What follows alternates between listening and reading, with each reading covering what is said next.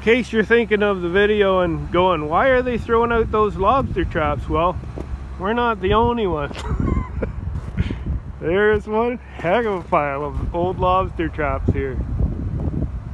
I guess they they cost too much to refurbish probably, so they just buy new ones. Just like every other business. Gotta figure out your costs and what makes most sense.